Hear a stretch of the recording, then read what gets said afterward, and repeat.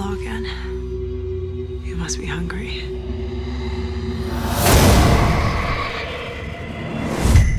Tim is a healthy adult who represents no danger to himself or anyone else. And I believe he should be discharged. Hey, little brother. I found it. What do you mean? We only have a few days A few days for what? to keep our promise and kill it. My name is Kaylie Ann Russell. The purpose of today's experiment is to prove that the object behind me is responsible for at least 45 deaths in the four centuries of its recorded existence. We got a new home, so we get new furniture. It's a bit ostentatious, though, don't you think? Hey, Dad, who's that lady in your office today? What lady? We were just kids.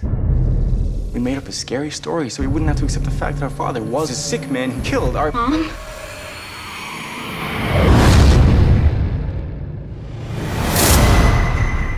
Why don't we just end it right now and smash the damn thing? First, I intend to prove that the people I've just described were victims of the supernatural force that resides in that mirror. You want to redeem the family name? You promised me you'd never forget what really happened. I was 10 years old. Daddy? Tim? Tim. Snap out of it!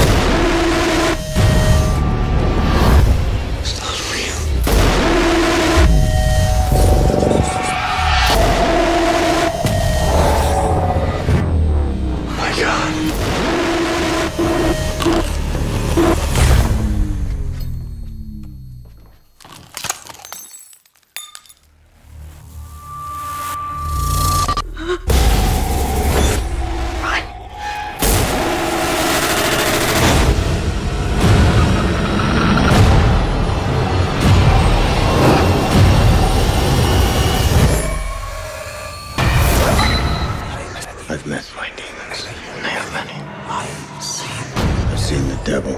He is. He is me.